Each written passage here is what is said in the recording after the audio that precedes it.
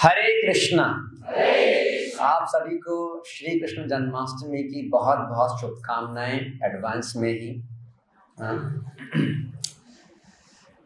I hope Janmashtami के दिन ये सारे खिले हुए चेहरे दिखेंगे कैंपस में भी, और आप अकेले नहीं आएँगे।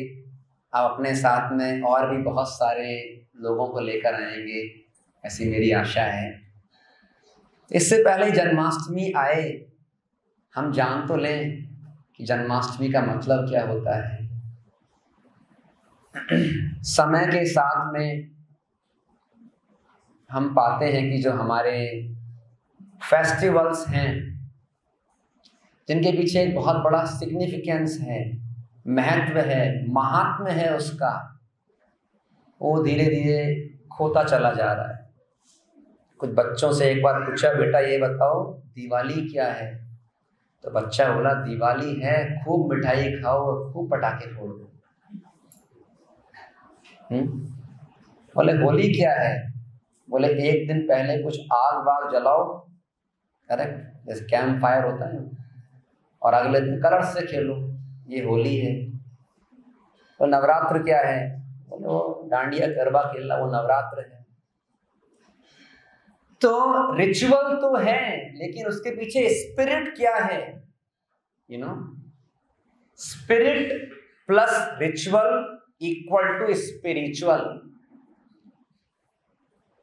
spiritual minus spirit equal to equal to ritual जैसे हम तिलक लगाते हैं करेक्ट ये कोई टैटू नहीं है। बोले, भाई, बिंदास टैटू है। मंदिर में हाँ। इसके पीछे क्या है एक? एक स्पिरिट है इसके पीछे। एक कारण है इसके पीछे। ये दोनों क्या हैं? ये दोनों हैं भगवान के चरण। भगवान के चरण कमल हैं ये। इसलिए तिलक लगाने पर एक मंत्र बोला जाता है। ललाटे केशवम ध्याये ओम केशवाय नमः। ये मंत्र होता है, ललाट पर, मस्तक पर, केशव का, कृष्ण का ध्यान करना और उनके चरण कमलों को धारण करना। तो इसके पीछे स्पिरिट है, समझ रहे हैं आप? क्या बोले, अरे, बढ़िया तिलक लगाओ अरे, थोड़ा सेल्फी लो भाई, एक फ़ोटो लो भाई, इतना बढ़िया तिलक लगाया है। रिचुअल नहीं है, ऐसे हर चीज़ के पीछे स्पिरिट है। जन्माष्टमी का मतलब ये नहीं है केवल कि दिन भर फास्ट करेंगे, कुछ खाएँगे नहीं। और क्या करें, कुछ खाएँगे नहीं तो भाई चाय तो पीनी पड़ेगी, है कि नहीं? दिन भर चाय पियेंगे टीवी देखेंगे एपिसोड यस और हाँ बस, रात को क्या करना है हमें? कुछ फास्ट थोड़ा बहुत जो भी रिचुअल हमें परफॉर्म करना है, भगवान को झूला झुलाना है। नहीं। या फिर कोई दही हांडी का गेम, ये जन्माष्टमी नहीं है। सारे रिचुअल है ये तो। इसके पीछे एक स्पिरिट है। तो जन्माष्टमी क्यों मनाई जाती है? क्यों मनाते हैं जन्माष्टमी? कृष्ण भगवान का जन्मदिन। हैप्पी बर्थडे करेक्ट तो हम थोड़ा समझेंगे अच्छे से कि ऐसा क्या स्पेशल है इस जन्माष्टमी में? इतने लोगों के बर्थडे आते हैं। तो इस बर्थडे में ऐसा क्या खास है? हाँ? तो कृष्ण जो है, इससे पहले हम जाने जन्माष्टमी क्या है, उसका पूरा नाम है कृष्ण जन्माष्टमी। पहले हम जानते हैं कृष्ण के बारे में। क्यों जन्माष्टमी इतनी स्पेशल है, पूरी दुनिया मनाती है? क्योंकि उसके पीछे जो व्यक्ति हैं, कृष्ण, वो स्पेशल हैं। कृष्ण शब्द का मतलब होता है कृष प्लस अणा कृष कृष का मतलब होता है सर्व आकर्षयति। जो सभी को अपनी ओर क्या करे? आकर्षित करे। कृष कर्षण, आकर्षण। और अणा अणा मतलब जिसको कृष्ण से आकर्षण हो गया, उसके जीवन में आनंद ही आनंद। देखिए आकर्षण है ना, वो इस दुनिया के अंदर सब जगह व्याप्त है। इसको हम हटा नहीं सकते अट्रैक्शन को। आपसे, आप में से बहुत से लोगों ने लॉ ऑफ़ अट्रैक्शन सुना होगा। पता नहीं, वो जो लॉ ऑफ़ अट्रैक्शन बताते हैं, खैर, वो तो आई थिंक कितना सही है, गलत है। एक्चुअली तो वो नॉनसेंस है। लेकिन ये लॉ ऑफ़ अट्रैक्शन फैक्ट है। Attraction makes the life dynamic इस दुनिया में भी हम पाते हैं, अगर आकर्षण खत्म हो जाएगा तो क्या होगा? जो हमारे जीवन में जो भी डायनेमिज्म है ना वैरायटी है एंजॉयमेंट है, वो खत्म हो जाएगा। तो प्रॉब्लम क्या है यहाँ पर? इस दुनिया का हर आकर्षण वो क्या है? वो क्षणिक है। वो क्या है? वो क्षणिक है। और उस आकर्षण की शुरुआत तो क्या है? हैप्पीनेस खुशी, सुख। यद अग्रे अमृतोपम शुरुआत में है किसकी तरह? अमृत की तरह। लेकिन समय के साथ में क्या होता है? जैसे जैसे रैपर खुलता है और अंदर मेन प्रोडक्ट बाहर निकलता है तो परिणाम में विषमिवा, समय के साथ में वो आकर्षण क्षीण हो जाता है। एक्चुअली में इवन अमृत से वो कड़वाहट आ जाती है उसके अंदर। कहीं भी देख लें इस दुनिया में। चाहे आप किसी भी रिलेशन में देख लीजिए, स्त्री पुरुष परिवार में हम देख लें बेटा माता पिता बच्चे माता पिता किसी भी रिलेशन में हम देख लें इस दुनिया में ये प्रिंसिपल हर जगह क्या है? आ, हर जगह लागू है। क्योंकि भगवत गीता ने बोला है भाई। तो आकर्षित होने की टेंडेंसी हमारे अंदर है। यस सर नो बस उस आकर्षण की जो टेंडेंसी है, उसको सही जगह लगाना है। तो आकर्षण की टेंडेंसी है आत्मा के अंदर, क्योंकि आत्मा जो है, उसको वास्तव में जो आकर्षण है, शाश्वत आकर्षण, और वो भी कितना? इनफाइनाइट वो है उसको किससे? जो आत्मा का जो स्रोत है, भगवान से। इसलिए भगवान के लिए कृष्ण शब्द का प्रयोग किया जाता है।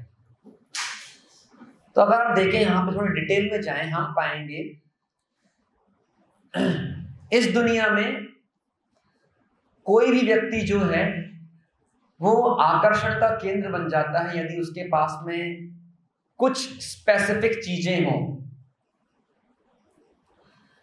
आप देखिए, जो भगवान शब्द है ना उसमें दो शब्द हैं। पहला है भग, दूसरा वान।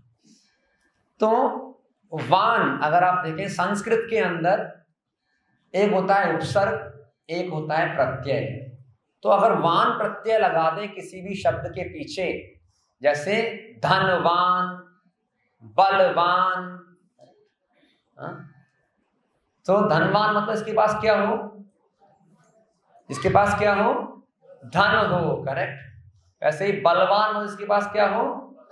बल हो यस सो हम पाएँगे क्या है? वान मतलब जो उसको धारण करता है। तो भगवान मतलब जिसके पास क्या है? भग। भग मतलब ऑप्युलेंस ऐश्वर्य। संपदा। हाँ? वो क्या है? शास्त्र डिफाइन करते हैं छह प्रकार के जो ऑप्यूलेंस हैं। वो यदि किसी के पास में हो तो व्यक्ति क्या बन जाता है? आकर्षण का केंद्र बन जाता है। ऐश्वर्य समग्र वीर शाश्रिय ज्ञान वैराग्य षट नाम भक्ति गण ये पराशर मुनि विष्णु पुराण में ये डेफिनेशन देते हैं भगवान की। छह प्रकार के ऐश्वर्य? वो क्या है पहला है रिचनेस हाँ? धन, जिसके पास बहुत ज़्यादा रुपया पैसा होता है हम पाते हैं, वो व्यक्ति सभी का अटेंशन ड्रॉ करता है है कि नहीं करेक्ट ना जैसे हमारे कंट्री में, मान लीजिए, किसी जगह पर अंबानी या अडानी को बुलाया जाए। तो हम पाएँगे सब लोग क्या होंगे? उन हज़ार हज़ारों की भीड़ में अपने आप जैसे इस व्यक्ति की एंट्री होगी। सबका ध्यान जाएगा नहीं जाएगा उस तरफ़? जाएगा ना?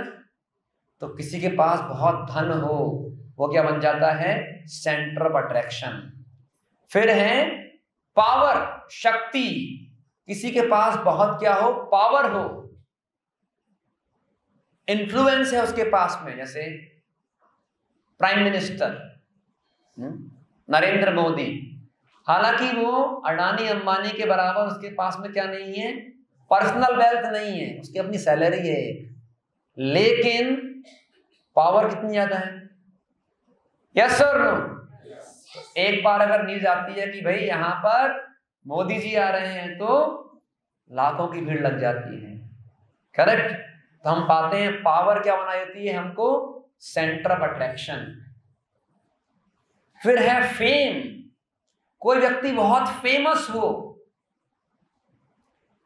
उसका बहुत ज़्यादा यश है, बहुत लोग जानते हैं उसको, जैसे सेलिब्रिटीज देखा, एक बार देखा है, कई फ़ंक्शंस में भीड़ को ड्रॉ करने के लिए, सिर्फ़ बुलाने के लिए क्या करते हैं वो लोग? एक दो सेलिब्रिटी को लेके आ जाते हैं। क्या है उसके पास में? क्या है? हाँ। फेम है उसके पास में बस। वो व्यक्ति आ रहा है उसका नाम है। हाँ तो लोग अपने आप दौड़े चले आए कोई बहुत फ़ेमस है तो वो भी लोगों के लिए आकर्षण का केंद्र बन जाता है। करेक्ट फिर है श्रिया श्रिया मतलब ब्यूटी यदि कोई एक्सेप्शनली ब्यूटीफुल हो, कोई बहुत ज़्यादा खूबसूरत हो तो हम पाते हैं नेचुरली हमारा ध्यान उस तरफ़ जाना ही जाना है। आप इसको रोक नहीं सकते। इसलिए दुनिया में इतने सारे ब्यूटी कॉन्टेस्ट हैं। यस सर नो अरे, और फिर है ज्ञान। यदि कोई व्यक्ति बहुत, उसको ज्ञान है नॉलेज है जैसे कोई साइंटिस्ट है, ना?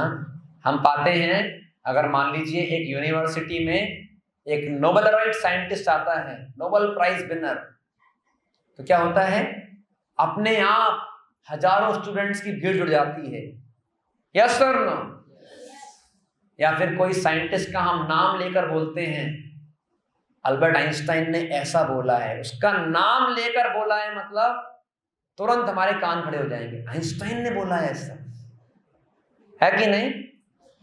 आइंस्टाइन ने एक बार एक वेटर को ऐसे ही पेपर फाड़ के और ऐसे लिख के, दो तीन लाइन लिख के दे दी उसको। वो पेपर रिसेंटली पता नहीं कहाँ से मिला। पता है वो पेपर इतना सा स्लिप लाखों डॉलर्स में लोगों ने खरीदा उसको। क्योंकि किसने लिखा है? किसने लिखा है? आइंस्टीन ने लिखा है। क्या वैल्यू है इतनी स्लिप की? लेकिन कितना अट्रैक्शन है? और अगला है वैराग्य। क्या है? एनाउंसिएशन वैराग्य। यदि कोई व्यक्ति क्या है?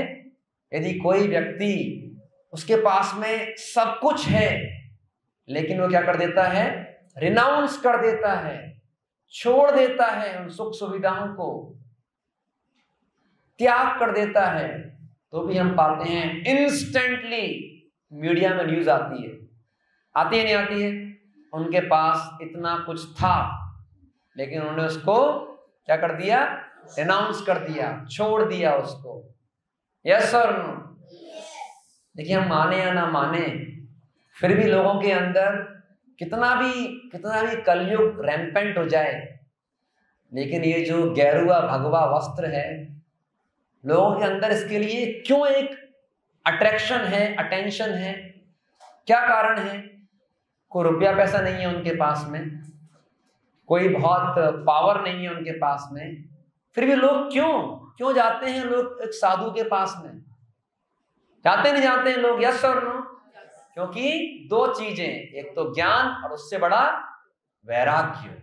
कितना त्याग किया है। तो ये अपने आप व्यक्ति को क्या बना देता है? अपने आप व्यक्ति को आकर्षण का केंद्र बना देता है ये छह प्रकार की चीज़ें। क्या क्या है वो? पहला क्या है? हाँ ऐश्वर्य रिचनेस धन। दूसरा? हाँ पावर शक्ति। तीसरा? फेम यश। चौथा? ब्यूटी हाँ? पांचवा? ज्ञान। और छठवा? वैराग्य। लेकिन हम पाएँगे इस दुनिया में ये छह की छह चीज़ें एक आदमी के पास नहीं होती। अगर किसी के पास बहुत अरबों रुपए हैं तो आप पाएँगे उसके पास में उतनी पावर नहीं होगी जितनी देश के प्राइम मिनिस्टर के पास है। यस और नो उसके पास इतनी ब्यूटी नहीं होगी जितना किसी और व्यक्ति के पास में है करेक्ट उसके पास में इतना ज्ञान नहीं होगा इतना किसी और व्यक्ति के पास में है करेक्ट ना?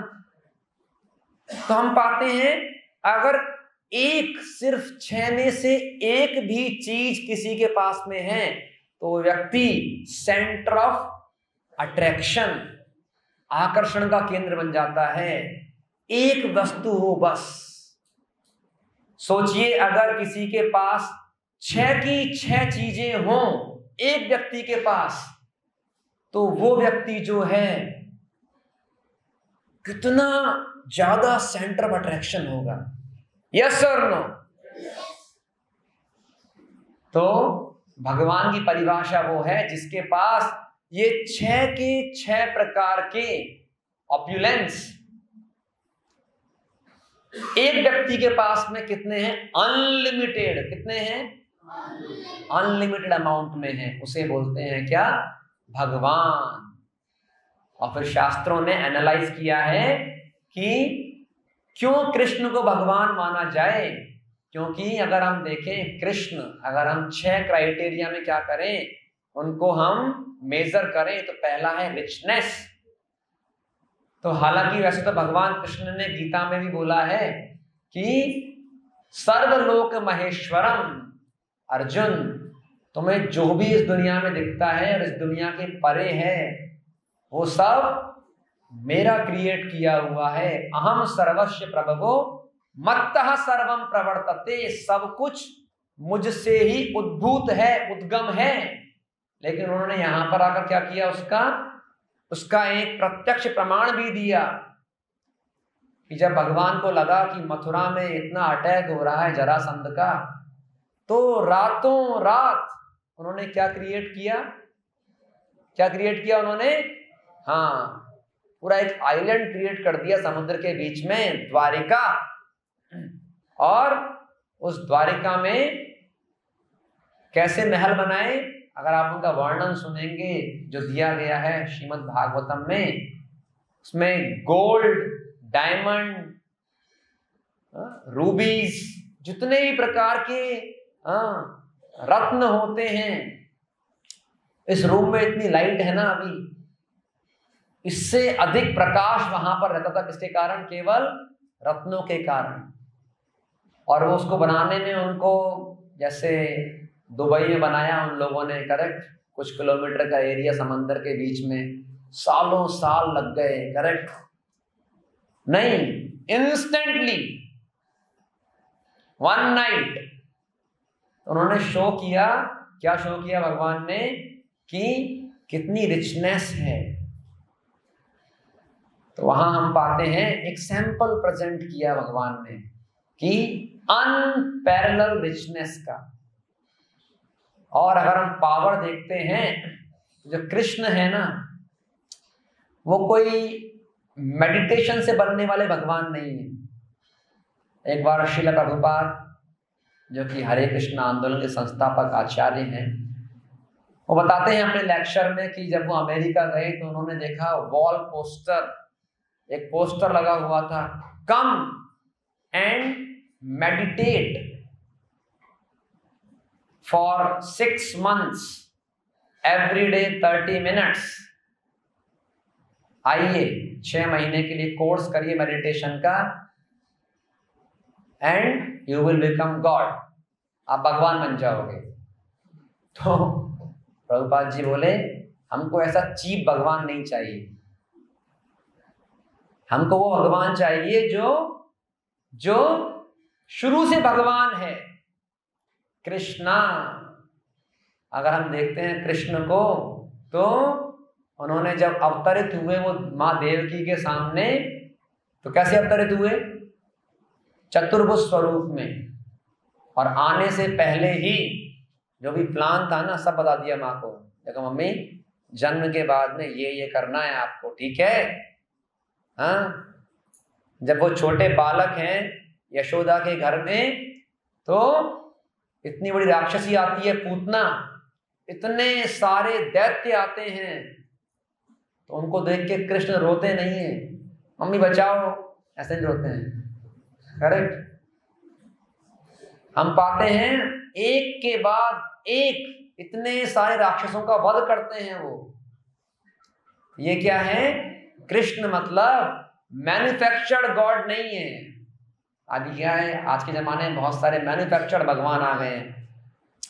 Krishna is not manufactured God कृष्णस्तु भगवान स्वयं। शुरू से भगवान है। संपूर्ण भगवान। ये है पावर महाभारत के युद्ध में बिना कोई अस्त्र शस्त्र उठाए, कौन था मैन ऑफ़ द मैच कौन था? हाँ मैन ऑफ़ द सीरीज़ थे भगवान। अठारह दिन चली ना महाभारत की सीरीज़ अठारह दिनों के जो इतने भी मैच हुए, अठारह। कौन थे man of the series Krishna. बिना कोई अस्त्र शस्त्र उठाए। So this is the power of Krishna. फिर है यश। अगर हम फेम देखें कृष्ण का, कोई कंपैरिजन नहीं है फेम के ऊपर। करेक्ट कौन है जो कृष्ण को नहीं जानता है? एवरी वन नोस हर कोई जानता है कृष्ण को। इंडिया हो, चाहे दुनिया के किसी भी कंट्री में चले जाइए हाँ कृष्णा इज़ सुप्रीमली फ़ेमस और श्री है मतलब ब्यूटी जो भगवान है। Man is made in the image of God ये कहा गया बाइबल में, वो करेक्ट है। मनुष्य जो है वो भगवान की इमेज में उनको बनाया गया है। कुछ लोग उल्टा सोचते हैं, इसे बोलते हैं एंथ्रोपोमर्फिज्म मतलब क्योंकि हमारे दो हाथ दो पैर हैं तो हमने कल्पना कर ली, भगवान के भी दो हाथ दो पैर होंगे। No no no like father like son क्योंकि पिताजी के दो हाथ दो पैर हैं, इसलिए बच्चे के दो हाथ दो पैर हैं। समझ रहे हैं आप? क्योंकि भगवान का स्वरूप है, भगवान क्या है? वो एक व्यक्ति है। इसलिए हम एक व्यक्ति हैं इसलिए हमारा स्वरूप है क्योंकि भगवान के अंदर भावनाएँ हैं इच्छाएँ हैं इसलिए हमारे अंदर भावनाएँ हैं हमारे अंदर इच्छाएँ हैं क्योंकि भगवान के अंदर टेंडेंसी है प्रवृत्ति है प्रेम करने की। इसलिए हमारे अंदर टेंडेंसी है प्रेम करने की क्योंकि हम भगवान के क्या हैं? अंश हैं हम। समझ रहे हैं? ऐसा नहीं है उल्टा बना दिया हम लोगों ने। सो so, अगर हम देखें ब्यूटी क्योंकि हमारे अंदर एक ब्यूटी है। क्यों है हमारे अंदर ब्यूटी क्योंकि भगवान के अंदर ब्यूटी है। लेकिन इस दुनिया की ब्यूटी क्या है? इस दुनिया की ब्यूटी जो है, वो केवल गार्बेज मैनेजमेंट पे निर्भर करती है। ये शरीर क्या है हमारा? हाँ? शरीर क्या है आप देखिए, ये केवल हमारी जो चमड़ी है ना, वही चमक मारती है। लेकिन अगर हम इसके अंदर देखें तो क्या है ये शरीर? गंदगी का थैला है। इसके अंदर में ब्लड है बोन्स हैं फ्लैश कोई बहुत अच्छी चीज़ें हैं क्या? अगर शरीर के अंदर की एक भी चीज़ शरीर से बाहर आती है तो क्या कहलाती है वो? वेस्ट यस और नो करेक्ट ना? बट पैकेजिंग ऐसी की है कि, ऐसी की है कि पूरी दुनिया पागल है। यस और नो करेक्ट ना? बॉलीवुड पता नहीं कब से गाने बना रहा है। सुनहरा वदन हल्दी चंदन। नहीं है। है कि नहीं। चंदन सा वदन खुशबू तेरा वदन लेकिन भाई इसमें इसमें कहीं हल्दी चंदन नहीं है। अगर इसका हल्दी चंदन बाहर आ जाए तो फ्लश करना पड़ता है। करेक्ट ये रियलिटी है। लेकिन क्या बनाया है भगवान ने? मतलब देखिए आप पहचान नहीं पाते। ये क्या है? क्योंकि ये फैब्रिकेटेड ब्यूटी है ये फैब्रिकेटेड क्योंकि इसके अंदर जो आत्मा है ना, शरीर के अंदर, उस आत्मा में ब्यूटी है। अगर दुनिया के सबसे खूबसूरत व्यक्ति, पुरुष या महिला, अगर वो आत्मा निकल जाए उसके शरीर से, फिर कोई व्यक्ति ना, उसकी आँखों की, उसके चेहरे की, उसके शरीर की खूबसूरती, सुंदरता की तारीफ़ नहीं कर सकता। यस और नो देखिए आप, आत्मा में सुंदरता है क्योंकि आत्मा कृष्ण का अंश है। तो कृष्ण जो है, वो क्या है? सच्चिदानंद विग्रह। हाँ वो उनका स्वरूप किसका बना नहीं है? बोन्स, ब्लड, स्किन, इसका विग्रह नहीं है। एक्चुअली हम लोग भी क्या है? सत चित आनंद इटर्निटी, नॉलेज एंड ब्लिस।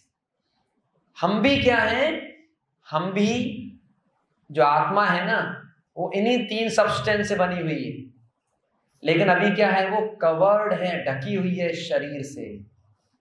तो जो कृष्ण के लिए शास्त्र कहते हैं, कंदर्प कोटि कमनीय विशेष शोभम। भगवान की सुंदरता इतनी है कि द्वारिका के महलों में कृष्ण भगवान अपने रिफ्लेक्शन को देख के पूछते थे, अरे ये इतना सुंदर व्यक्ति कौन है? मैंने आज तक नहीं देखा। तो शास्त्रों ने इतनी इतनी प्रशंसा की है भगवान की सुंदरता की। अरे लोग यहाँ मंदिर में आते हैं संडे के दिन। हज़ारों, हज़ार लोग आते हैं। करेक्ट। सोचिए भगवान के विग्रह का, की सुंदरता को देखकर हाँ आप पाएँगे कितना हमारे अंदर कितने भाव मरते हैं उसको देखकर। यस। तो ये क्या है? भगवान की ब्यूटी है ये। और फिर बताया गया है, यश ज्ञान। अगर हम ज्ञान देखें भगवान का तो उन्होंने ऐसा ज्ञान दिया, भगवत गीता का। एक सैंपल शो किया उसका, ज्ञान का, कि पाँच हज़ार साल में इस ज्ञान में कोई भी चेंज नहीं हुआ। कोई भी त्रुटि, एरर नहीं है। आप दुनिया का कोई भी नॉलेज ले लीजिए आप मुझे बताइए दुनिया की एक ऐसी किताब जो कि समय के साथ में उसकी पॉपुलैरिटी बढ़ती जा रही है। कोई भी बुक हैरी पॉटर आज से दस साल पहले बेस्ट सेलर थी। अभी क्या है, हालत है उसकी? पढ़ते हैं क्या हम? नहीं पता। करेक्ट कितने सारे राइटर्स आए, उन्होंने बुक्स लिखी हैं, लेकिन दस साल, पंद्रह साल, बीस साल, सौ साल के बाद में क्या होता है? वो आउटडेटेड हो जाती है। यस और नो साइंस हम देखें। आज से सौ साल पहले कोई थ्योरी आती है और हम पाते हैं कि कुछ समय के बाद में उसमें कुछ ना कुछ गलतियाँ निकल के आ जाती है। यस और नो लेकिन हम पाते हैं, भगवत गीता में पाँच हज़ार साल में कभी आपने आज तक सुना? सबने गीता पढ़ी है बड़े बड़े साइंटिस्ट, पॉलिटिशियंस, स्कॉलर्स। किसी ने बोला, अरे, मैंने गीता में ये ये गलती पाई है। सुना आपने कभी ऐसा? और समय के साथ में भगवत गीता का फेम घट रहा है कि बढ़ रहा है? बढ़ रहा है। कहाँ तो संस्कृत में थी। उसके बाद में आज दुनिया की शायद ही कोई भाषा हो, जिसमें भगवत गीता अवेलेबल नहीं हो। समय के साथ बढ़ रहा है। ये है भगवान की नॉलेज ये तो सैंपल दिया है भगवान ने गीता का ज्ञान कुरुक्षेत्र के मैदान में 45 मिनट्स बोलकर। बाकी वेद, वो क्या है? वो भगवान के द्वारा दिया हुआ ज्ञान है। ये है, he is the greatest knowledgeable person infinite knowledge और अंतिम है वैराग्य। अगर हम देखें भगवान कृष्ण को तो आप पाएँगे उन्होंने जब वो कृष्ण के रूप में अवतरित हुए, तब भी इसका क्या किया उन्होंने? हाँ इसको शो किया वैराग्य को। महाभारत के युद्ध में, हालाँकि पूरा क्रेडिट किसको जाता है? कृष्ण को जाता है, लेकिन उन्होंने किसको दिया क्रेडिट किसको दिया? अर्जुन को, निमित्त मात्र भव सभ्य साचिन। अर्जुन, तुम हो hero you are the hero तो हम पाते हैं हर जगह पर हम पाएँगे हाँ उन्होंने अपने भक्तों को हर जगह क्रेडिट दिया है। उनको आगे रखा है, ना कि अपने आप को। इवन आज से अगर आप देखें, भगवान का ही अवतार है राम।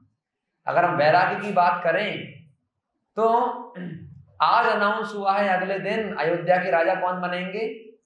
राम। सब जगह खुशी छा गई। और कल सुबह हाँ भगवान का क्या होने वाला? राज्याभिषेक। और रात्रि को पता लगता है कि राम को क्या होगा? वनवास। हमने इतिहास में सुना है कि बहुत सारे आ, ऐसे ऐसे आ, पुत्र हुए जिन्होंने अपने पिताजी को कहा डाल दिया? जेल में डाल दिया भाइयों को मार दिया क्या करने के लिए? राजा बनने के लिए। सुना है ना आप लोगों ने? बहुत है। एक कमी नहीं है। एक तरफ़ ये लोग हैं, इनसे इनसे इतना इंतज़ार भी नहीं किया जा रहा है, सब्र नहीं किया जा रहा है कि ठीक है भाई, पिताजी के बाद हमें तो राजा बनना है, लेकिन, और यहाँ पर हम पाते हैं जो राम है, इतना बड़ा राजपाट छोड़कर, सुविधाएँ छोड़कर अगले दिन कहा चले जाते हैं? वनवास। उन्होंने कोई कोर्ट केस फ़ाइल नहीं किया। बोले, मैं जाऊँगा ये अयोध्या की कोर्ट में, लोकल कोर्ट में, वहाँ नहीं जीता तो कहाँ जाऊँगा? High court. माने सुप्रीम कोर्ट जाना पड़ेगा। हाँ मेरे पिताजी का क्या हो गया है? हाँ उनका किसी ने ब्रेन वॉश कर दिया। हम नहीं पाते, उन्होंने कोई लॉयर अपॉइंट नहीं किया केस लड़ने के लिए। ये शो करते हैं क्या? क्या? हाँ वैराग्य। इवन जब महाभारत का युद्ध हो जाता है और युद्ध के अंत में, क्या होता है? जो सीता जी जो हैं जब अशोक वाटिका से आती हैं तो भगवान राम बोलते हैं कि, सीता, अब तुम स्वतंत्र हो। तुमको जहाँ जाना है, वहाँ जा सकती हो। मैंने ये युद्ध केवल तुम्हारे लिए नहीं किया। हाँ? ये धर्म युद्ध था। ऐसा नहीं कि मुझे तुमसे बहुत अट्रैक्शन है कि तुम मेरी पत्नी हो इसलिए। नहीं। वहाँ पर ही भगवान ने जो शो किया वो क्या था? वैराग्य। ऑपुलेंस ऑफ़ रिनाउंसिएशन तो इस प्रकार से ऐसे ही भगवान कृष्ण जो हैं कलयुग में अवतरित होते हैं चैतन्य महाप्रभु के रूप में और संन्यास ग्रहण करते हैं। जो सब चीज़ों के स्वामी हैं वो सब कुछ त्याग कर संन्यास ले रहे हैं। ये है वैराग्य। तो ये छह चीज़ें इसके पास में हैं एक व्यक्ति के पास में हैं। वो भी इनफाइनाइट उसे बोलते हैं भगवान। इसलिए श्रीमद भागवतम में बोला गया है, कृष्णस्तु भगवान स्वयं। क्या बोला गया है? भगवान के अनेक अनेक अवतारों का वर्णन आता है और उसमें अंत में यह श्लोक आता है, जितने भी अवतारों का वर्णन हुआ है, मत्स्य, कूर्म, नरसिंह, वराह, राम, परशुराम हाँ बुद्धा कलकी सबका वर्णन आया है उसमें। भागवतम के प्रथम स्कंद के तीसरे अध्याय में। लेकिन क्या बोला है एंड में? कृष्ण जो है, वो क्या है? वो अवतार नहीं है, वो अवतारी हैं। वो सारे अवतारों के स्रोत हैं। हम्म? क्योंकि क्योंकि ईश्वर परम कृष्ण। ब्रह्म संहिता कहती है तो कृष्ण है वो कौन है? वो परम ईश्वर है। पूर्ण पुरुषोत्तम है कौन? हाँ, कृष्ण। सच्चिदानंद विग्रह अनादिरादिर गोविंद सर्व कारण कारणम। वो क्या है? आ? हाँ, भगवान कृष्ण की हमें तुलना हाँ, किससे नहीं करनी है? अनेक अनेक जो अन्य देवी देवता हैं उनसे नहीं करनी है।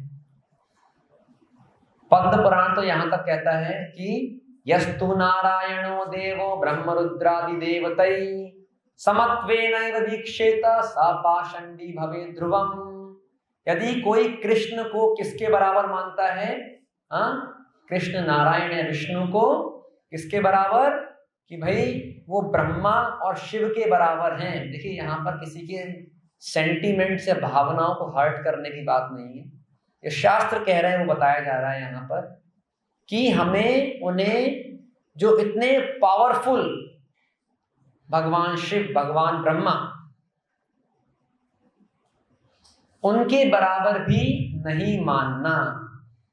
समत्वेना, समत्व, समान मानना यदि हम मानते हैं, ये भी अपने आप में एक प्रकार का क्या है? ये भी अपने आप में एक प्रकार का पाषंडी। मतलब ये एथीज्म बोला गया है। इंडिया में बहुत फ़ेमस है ये, सभी एक है, सब बराबर है, किसी को ही मान लो। नो अगर हम शास्त्र पढ़ेंगे तो उसके अंदर क्रिस्टल क्लियर अंडरस्टैंडिंग है। उसमें कोई हाँ उसमें कोई हाँ भ्रमित होने की बात नहीं है। क्योंकि हमें कभी पढ़ाया ही नहीं गया, बताया ही नहीं गया हमको कभी। तो बहुत से लोग, अभी दुर्भाग्य है कलयुग में कलयुग में लोग किसी को भी बना देते हैं। नहीं, यही कृष्ण है, यही राम है हाँ यही शिव है। बहरूपिया है क्या भाई वो आदमी? उसी को कृष्ण बना दिया, उसी को राम बना दिया, उसी को शिव बना दिया हाँ?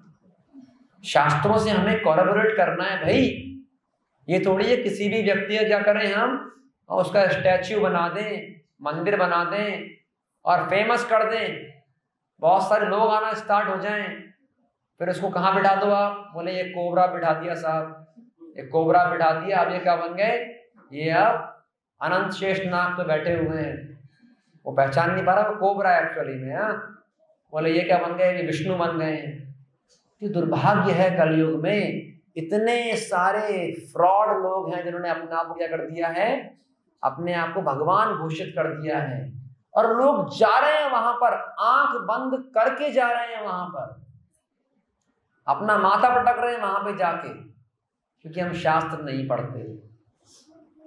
कुछ लोगों ने तो इवन एक आम व्यक्ति को बोल दिया, भाई, ये नारायण से भी ऊपर है। नारायण भी इनके नीचे आते हैं। कितने दुर्भाग्य की बात है, बताइए। ये नारायण के भी स्वामी यहाँ पर बैठे हुए हैं। शास्त्र कह रहे हैं, भाई नारायण के समान ब्रह्मा और शिव को मानना भी एक प्रकार का नास्तिकवाद है। पाषंडी है। और यहाँ क्या बोल दिया? ये नारायण का भी स्वामी है, क्योंकि हमें शास्त्र नहीं पढ़ते। इसलिए क्या जानना ज़रूरी है? जो कृष्ण है, मैं नहीं कह रहा हूँ ईश्वर परमहा कृष्ण।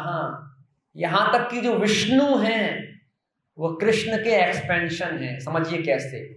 विष्णु और कृष्ण क्या है? भगवान जब अपने ऑफ़िस में होते हैं ना, ऑफ़िस में तो कहलाते हैं विष्णु। और जब घर पे होते हैं तो कहलाते हैं कृष्ण।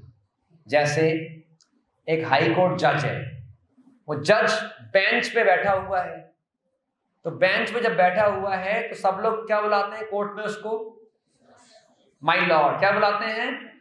माई लॉर्ड मान लीजिए उसका नाम रोहित है सपोज़ तो उसको कोई कोर्ट में उसको रोहित कह के नहीं बुला सकता। अरे, चाहे उसके रिलेटिव हो, उसके फादर हो, कोई भी हो, अब वो घर पे आता है, घर पे आके बैठता है सोफे पर हाँ कोर्ट में उसके लिए पानी लाने के लिए अटेंडेंट है, यस और नो घर पे आके बैठता है तो उसको क्या कह बुलाएँगे?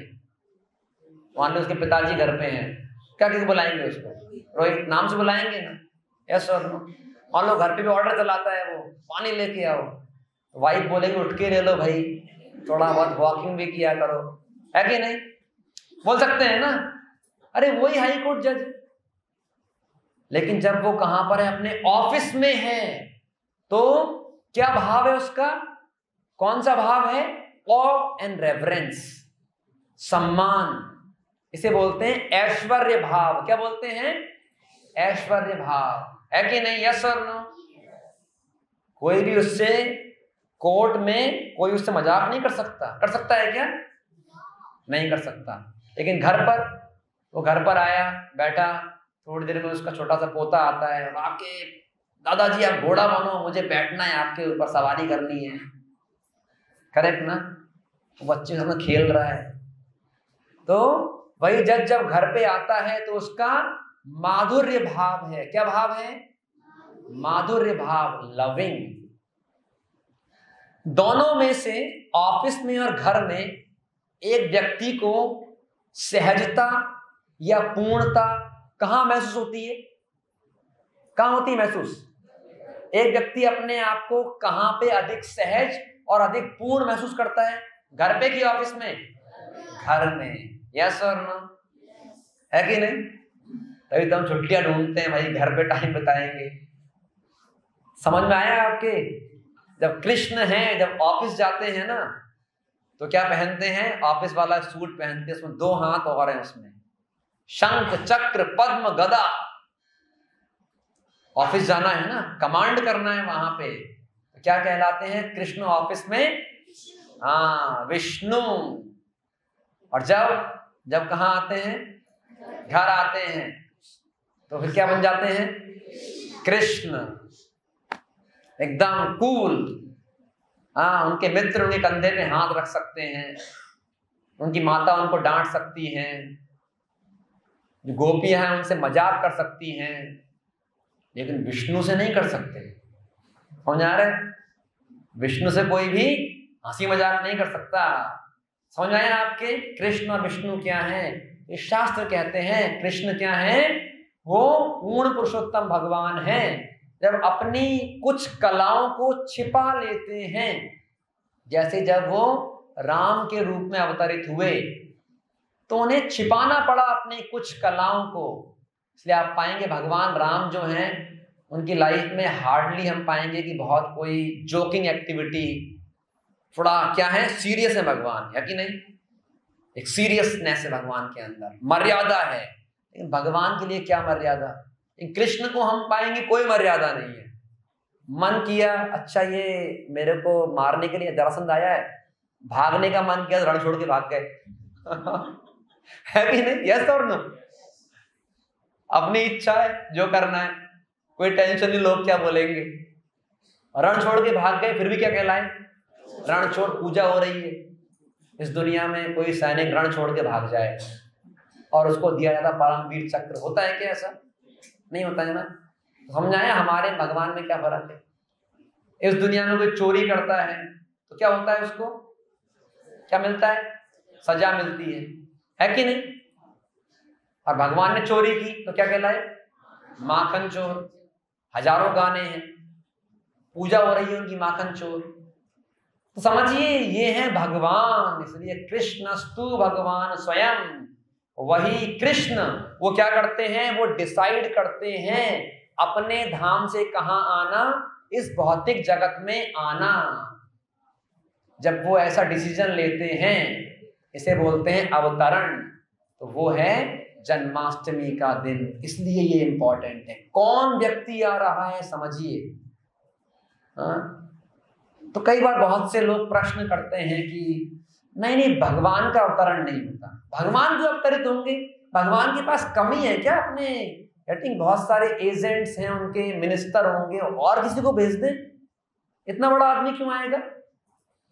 करेक्ट कुछ रिलीजन्स में तो वो ऑब्जेक्शन करते हैं कि नहीं नहीं, केवल भगवान के मैसेंजर आ सकते हैं, बस। करेक्ट भगवान नहीं आते हैं। तो एक बार अकबर और बीरबल के बीच में बातें हो रही थी तो अकबर ने बोला, बीरबल, ये तुम्हारे सनातन धर्म, हिंदू धर्म में बोला जाता है कि हाँ जो भगवान है, अल्लाह, जो हम बोलते हैं, वो उसको आना होता है यहाँ पर धरती पर। ये भगवान क्यों आएँगे? भगवान को तो नहीं आना चाहिए ना, ज़रूरत क्या है? इतने इतने सारे लोग होंगे उनके पास में पावरफुल लोग, उनको भेज दे इस दुनिया में। तो बीरबल ने समझाने की कोशिश की, लेकिन अकबर के पल्ले नहीं पड़ी बात। बोले, कोई बात नहीं, जहाँ बना, आपको समझाएँगे, मौका आने दीजिए। तो उन्होंने बोला बादशाह को बोला कि आप एक काम करिए, हम अगले हफ़्ते में हमने एक नौका विहार अरेंज किया है, बोट राइड, जो हमारे महल का जो सरोवर है, पॉन्ड, वहाँ पर हम लोग बोट राइडिंग करेंगे। तो सभी को बुलाइए, आपकी फैमिली होनी चाहिए, सब लोग होंगे। तो एक बोट में क्या किया, एक बोट में सारे के सारे अकबर, बीरबल और जो मिनिस्टर थे, वो बैठे हुए थे, सभी पुरुष लोग। दूसरी बोट में जितना भी महिलाएँ थी, वो बैठे हुए थे। अब बोट राइडिंग चल रही थी। म्यूज़िक वॉज़ गोइंग ऑन और अकबर जो है, उनका जो सबसे छोटा बच्चा था ना हाँ उनकी एक रानी की गोद में था वो। और अच्छा खासा समय गुजर गया और क्या हुआ? थोड़ी देर बाद में वो बच्चा उस उस रानी की गोद से, हाथ से फिसल कर कहाँ गिर गया?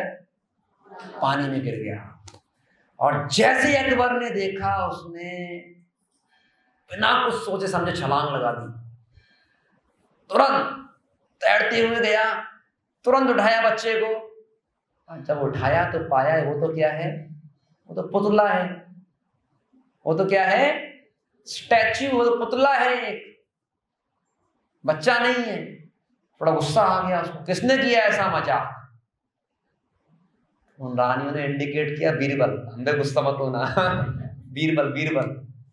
बीरबल तो मतलब उसको लगा कि भाई, बीरबल मतलब कि ये बुद्धिमान आदमी है। कुछ सिखाने के लिए किया होगा। बोले बीरबल ऐसा मज़ाक क्यों किया ये? बोले, महाराज, एक बात बताइए। आपके बगल में इतने बढ़िया बढ़िया रेस्क्यू टीम के लोग थे जो आपसे दस गुना एक्सपर्ट है तैरने में, बचाने में। हम मिनिस्टर्स थे, सोल्जर्स थे। आप क्यों कूदे महाराज? आप बोलते, कूदो, बचा के लेके आओ बच्चे को। आप क्यों कूदे? अरे बेरो कैसी बात करते हो? मेरा बच्चा है। करेक्ट बोले बस ऐसे ही शास्त्र बताते हैं, भगवान क्यों आते हैं? भगवान आते हैं परित्राणाय साधु नाम जो क्या है? भगवान के भक्त हैं ना, उनके प्रेम के वशीभूत होकर, उनके प्रेम के वशीभूत होकर भगवान आते हैं। जब आते हैं तो फिर साइड बाय साइड थोड़ा आए हैं तो ऐसे एक मूवी होती है ना, एक मूवी में एक्शन सीन भी होता है, देखा फाइट भी होती है। बट एक्शन सीन से ज़्यादा एक्शन सीन है लविंग सीन है करेक्ट तो हम पाते हैं कि जो हीरो है, हा? उसको फाइट करना है, लेकिन fighting is not primary correct जो मूवी के अंदर जो लव स्टोरी है ना, वो प्राइमरी है। उसके साइड बाई साइड थोड़ा बहुत फाइट भी है। कोई विलन भी है, उसको भी थोड़ा बहुत पीटना है ओके वो प्राइमरी नहीं है। प्राइमरी क्या होता है? लव स्टोरी ऐसे ही भगवान और भगवान के भक्तों के बीच जो प्रेम है, उसके वशीभूत होकर भगवान अवतरित होते हैं और साइड बाय साइड आए ही हैं तो चलो भाई, थोड़े बहुत जो भी दानव है ना, उनको भी ठिकाने लगा देते हैं। चलो भाई, कंस को, जरासंध को, रावण को, थोड़ा इनकी भी ठुकाई कर देते हैं, पिटाई कर देते हैं। थोड़ा मूवी अच्छी बन जाएगी ना। लव स्टोरी भी हो गई एक्शन भी हो गया सस्पेंस भी हो गया। तो भगवान यहाँ आते हैं भक्तों के प्रेम के वशीभूत होकर, और दूसरा जब भगवान यहाँ आए तो जब वो क्या करते हैं, अपने क्रियाकलाप करते हैं, लीलाएँ करते हैं। देखिए, हमारे अंदर एक टेंडेंसी है सभी के अंदर। हम सभी लोग कोई ना कोई स्टोरी से अट्रैक्ट होते हैं। आप मूवी देखने क्यों जाते हैं? क्योंकि उसके अंदर क्या है अलग अलग हमारे इमोशन सेटिस्फाइड होंगे। उसमें एक स्टोरी का एक हिस्सा क्या है? लविंग रिलेशनशिप दूसरा हिस्सा क्या है? फाइट तीसरा हिस्सा क्या है? सस्पेंस करेक्ट अलग अलग आप पाएँगे। चौथा हिस्सा क्या है? डांस म्यूज़िक आप भगवान की लीलाएँ देखिए। सारी चीज़ें उसके अंदर। अगर हम रोमांटिक पोर्शन देखें तो कृष्ण लीला से ज़्यादा रोमांटिक लविंग पोर्शन आपको कहीं नहीं मिलेगा। यस और नो अगर हम एक्शन देखें, अगर हम क्या देखें फाइट एंड एक्शन तो आपको ऐसी फाइट हाँ ऐसा एक्शन आप चाहे महाभारत देख लीजिए, आप चाहे भगवान का कोई भी दैत्य को मारना देख लीजिए हाँ वो क्या है? सो so वंडरफुल आप शास्त्र पढ़ेंगे, उसमें एक एक डिस्क्रिप्शन दिया गया है। भगवान ने इस दैत्य को कैसे मारा, उसको कैसे मारा? तो हम पाएँगे जितनी भी चीज़ें हमारे अंदर टेंडेंसी है, उनसे अट्रैक्ट होने की, वो सारी किस्में हैं, भगवान की लीलाओं में वो विद्यमान हैं। तो ताकि हम क्या करें, क्योंकि हम क्या हैं, अभी हम इस दुनियादारी की चीज़ों से अट्रैक्ट हो रहे हैं, और इस दुनिया में अगर अट्रैक्ट होंगे तो वो हमारे बंधन का कारण बनेगा। लेकिन यदि भगवान से हमें अट्रैक्शन होगा तो क्या होगा, वो हमारी मुक्ति का कारण होगा। भगवान अपने धाम से भगवत गीता के श्लोक अध्याय संख्या छ उसमें श्लोक संख्या लगभग सात आठ और नौ six point sorry four point seven eight nine अध्याय संख्या चार। उसमें भगवान कहते हैं ये बात कि हाँ, संभवामी आत्म माया अजो अपनी सन अव्यय आत्मा हालाँकि मैं अजन्मा हूँ लेकिन फिर भी मैं क्या होता हूँ? मैं अपनी इच्छा से यहाँ पर आता हूँ। क्या करने के लिए? हम सभी को आकर्षित करने के लिए कि भाई, इस दुनिया में क्या कर रहे हो आप? अलग अलग चीज़ों से आकर्षित हो रहे हो। वो टेम्पररी आकर्षण है। अगर आपको आकर्षण किससे हो जाएगा? भगवान से हो जाएगा। तो हम भगवत धाम जाने के, इस दुनिया में जो हम जन्म जन्मांतरों के चक्कर लगा रहे हैं, उससे हम बाहर निकल सकते हैं। और जो भगवान का धाम है, सच्चिदानंद धाम, वहाँ हम वापस लौट सकते हैं। तो भगवान अवतरित होते हैं, इसलिए कृष्ण को साधारण मनुष्य नहीं मानना, जब इस दुनिया में वो आते हैं। जैसे आचार्य समझाते हैं कि एक बार गवर्नर, वो है, वो जो स्टेट है ना, उसकी जेल में जाता है, कैदियों से मिलने के लिए। उनके साथ तीन चार घंटे बिताने के लिए ताकि इनको थोड़ा अच्छा लगेगा कैदियों को, उनकी प्रॉब्लम्स को सुनेंगे, उनको कन्विंस करेंगे कि भाई क्या करो, भाई बाहर निकलो यहाँ से, यहाँ पे कैदी नंबर बनने का, कैदी नंबर वन बनने का कोई फ़ायदा नहीं है। यस और नो तो गवर्नर गया जेल के अंदर और वहाँ जब गया तो कुछ कैदी बात कर रहे हैं आपस में। भाई देखो गवर्नर भी आ गया अपने साथ में। ये भी क्या बन गया? ये भी कैदी बन गया, पता है? ये भी ये भी अपराधी है। तो क्या सही है कंक्लूजन ये वाला?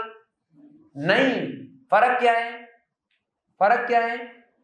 वो अपनी इच्छा से आया है, अपनी इच्छा से चला जाएगा। समझे? और जो कैदी है वो वो हाँ उनको फोर्स किया गया यहाँ आने के लिए, वैसे ही। हम अपनी इच्छा से नहीं आते हैं। हमको तो फोर्स किया गया यहाँ आने को।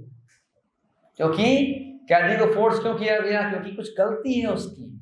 ऐसे ही कुछ मिस्टेक है। इसके कारण हमें ये भौतिक शरीर लेना पड़ा। तो भगवान यहाँ आते हैं हमको क्या करने के लिए? कन्विंस करने के लिए, आकर्षित करने के लिए। तो भगवान का जो जन्म है, लोग बोलेंगे, नहीं नहीं, ये कृष्ण भी तो हाँ ये कृष्ण भी तो क्या है? अरे देव की गर्भ से तो हुए कृष्ण का जन्म। ये बोलते हैं लोग। अरे कृष्ण के भी तो माता पिता थे। भगवान कैसे हो गए? बोलते हैं लोग कई बार।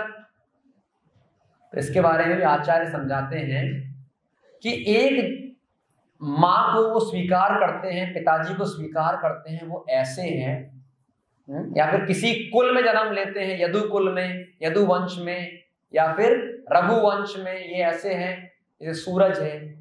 सूरज ईस्ट, पूर्व दिशा सूरज जो है उसका उदय कहाँ से होता है?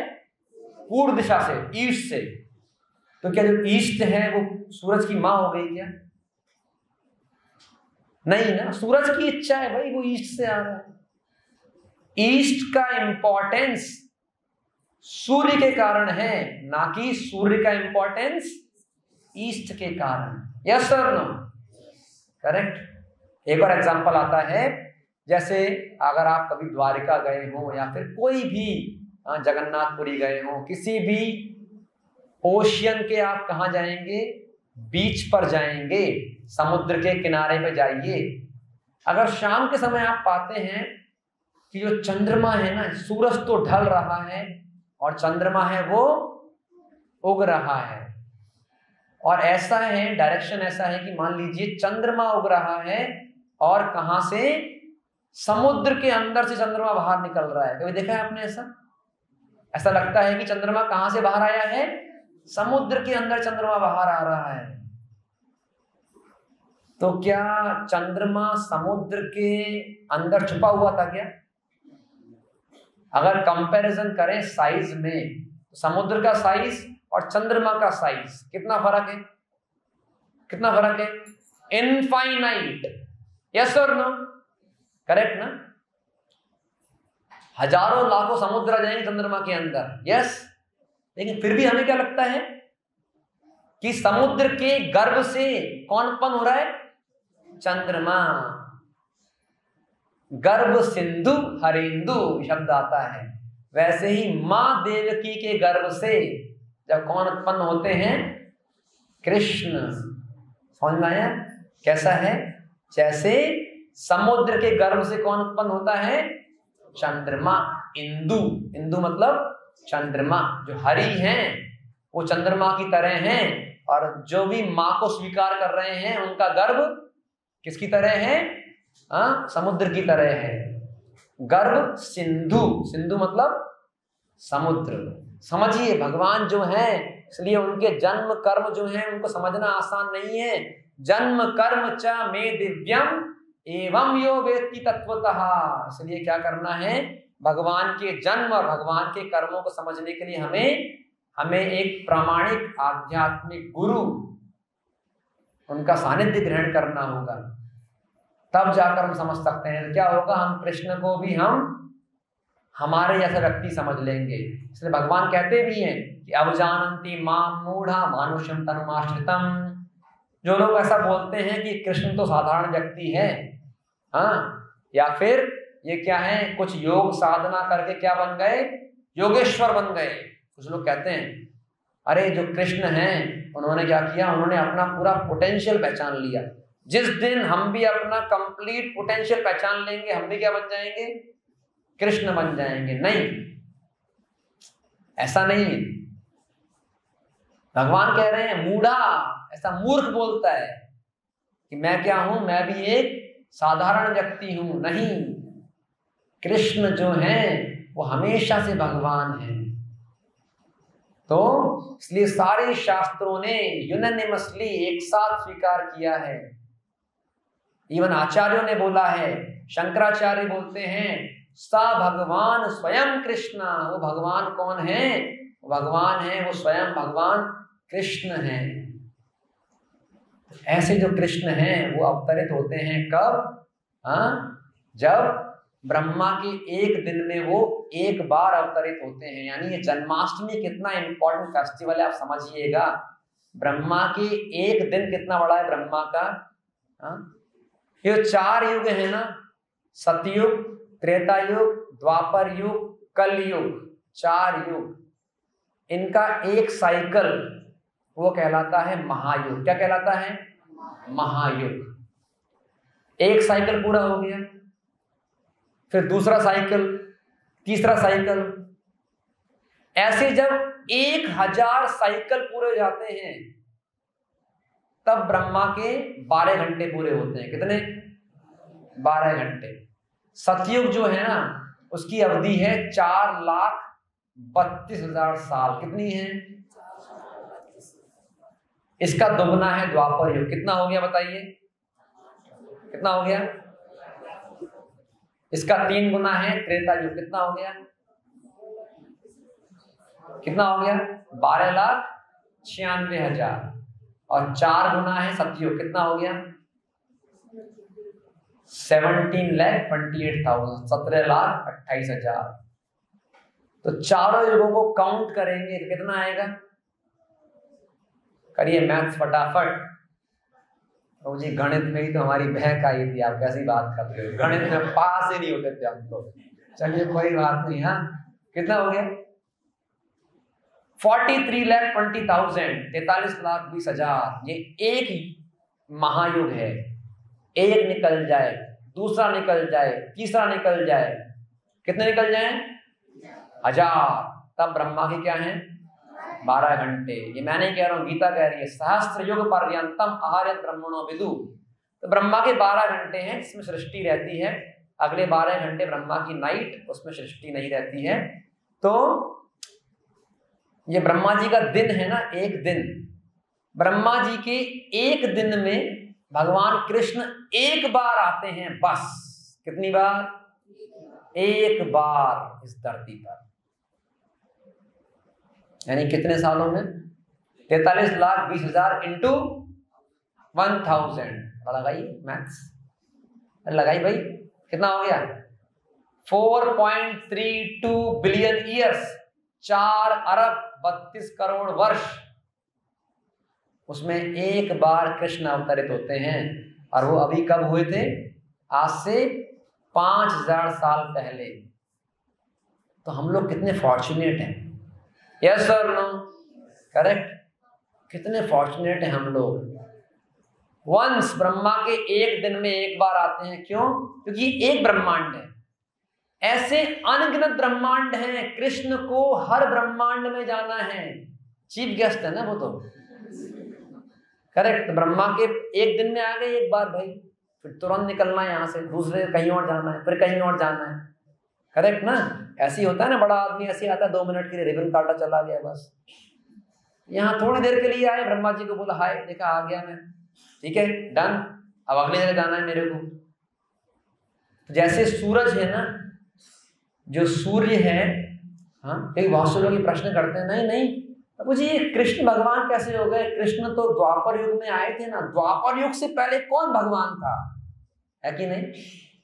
यस सर नो समझिए जैसे सूर्य है, अभी हम बाहर जाएँगे, अभी आठ बजने वाले हैं, हमको सूरज विजिबल होगा क्या?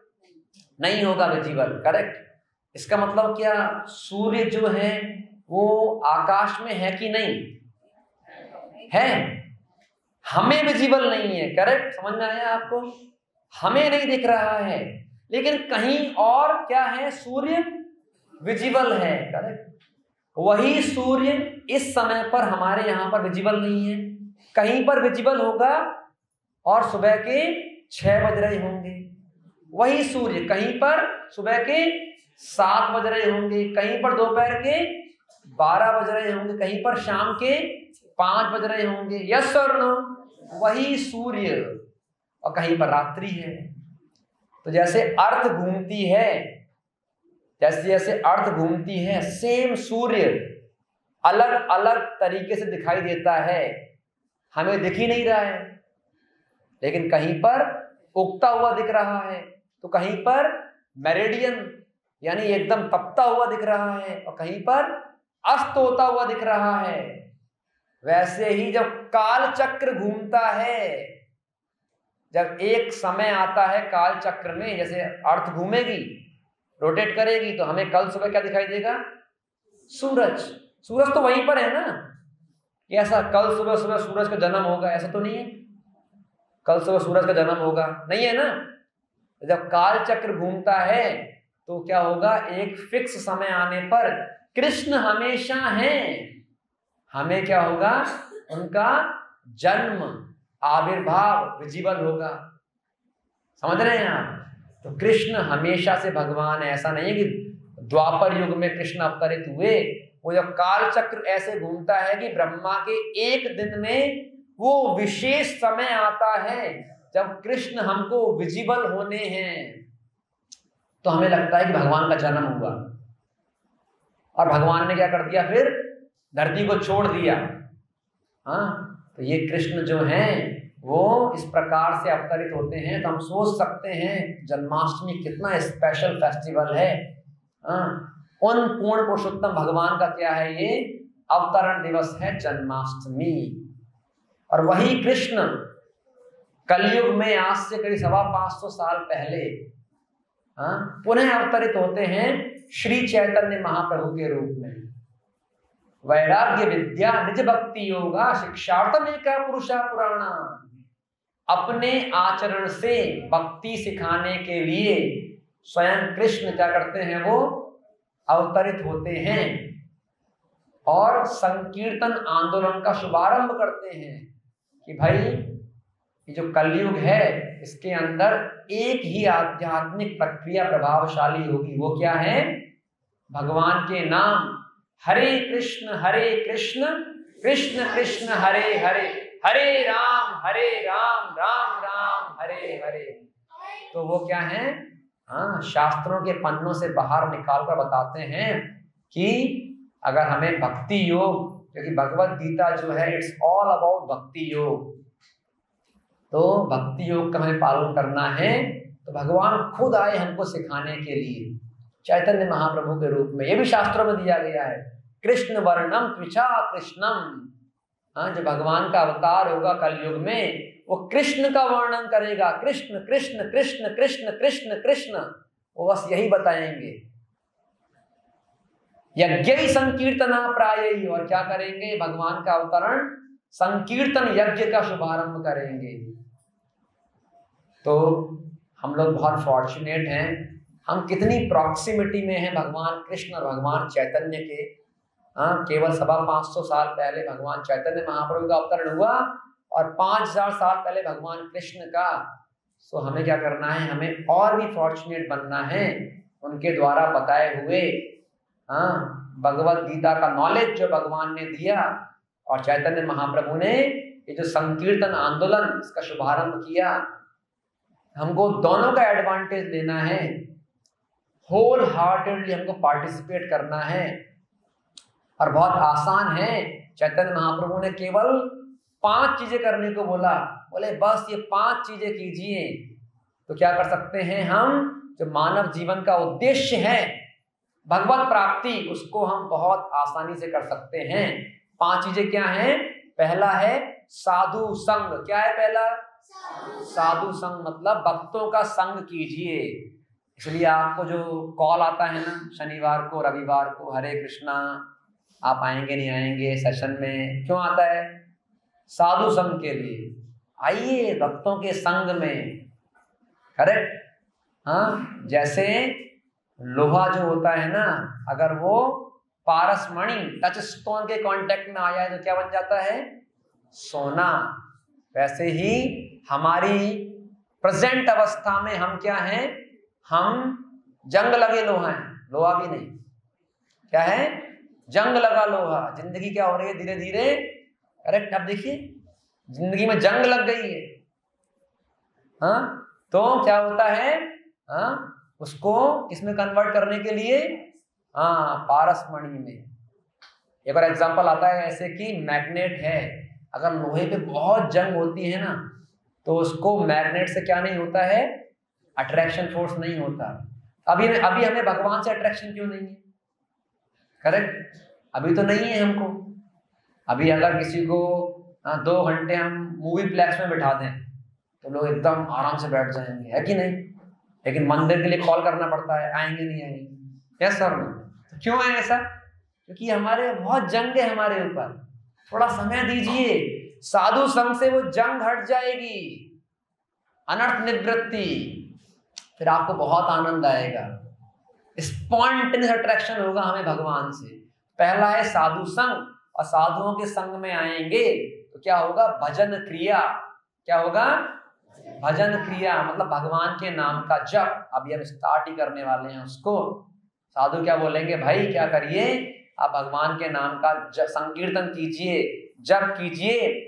और तीसरा है, साधुओं के साथ में आप संग करेंगे। तो साधु आपसे हॉलीवुड, बॉलीवुड, आईपीएल, पॉलिटिक्स, इसकी बात तो नहीं करेंगे, करेक्ट ना? वो आपसे क्या करेंगे? भागवत चर्चा, क्या करेंगे? हाँ इसे बोलते हैं भागवत श्रवण, क्या बोलते हैं? भागवत श्रवण।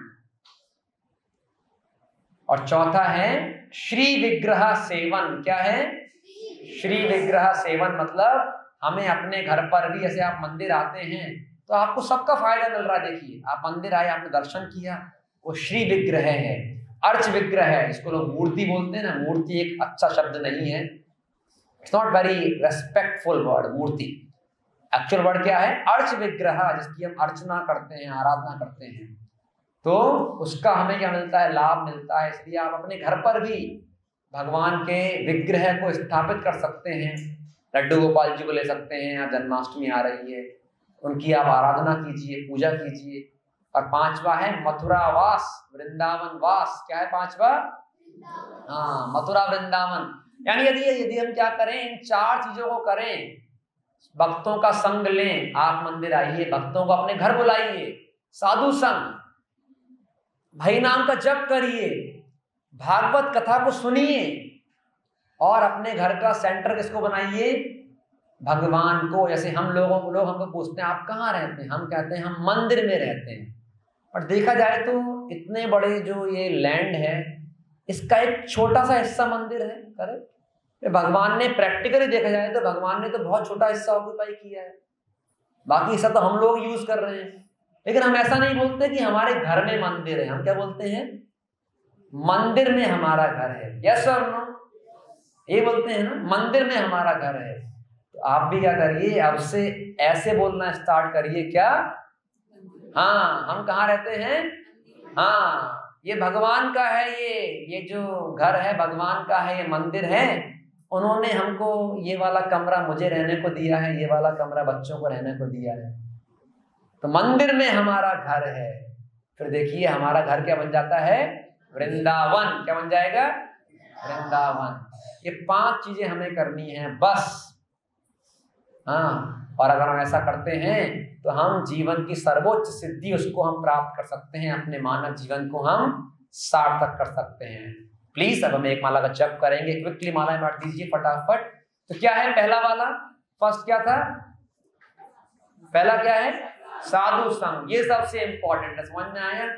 अगर ये छूट गया ना, साधु संघ तो ज़िंदगी का ढंग और रंग दोनों चेंज हो जाएगा। समझ में आ रहा है? ये साधु संघ नहीं छूटना है। साधु संघ करेंगे, तब तक ही हमारी माला कैसे घूमेगी? ऐसे। अंदर की तरफ़, हरे कृष्ण हरे कृष्ण कृष्ण कृष्ण, हरे हरे हरे राम हरे राम राम राम, हरे हरे। और साधु संघ छूट गया ना तो फिर क्या होगी? माला उल्टी हो जाएगी ऐसे वाली। समझ रहे हैं आप? ये वाली हम समझते हैं ना? ये वाली, उसमें डूबे हुए हैं हम। आगे से आगे से। आगे से मत दीजिए। सो प्लीज़ साधु संग नहीं छोड़ना है हमें all right thank you so much आप सभी ने इतना समय दिया उसके लिए। हरे कृष्णा।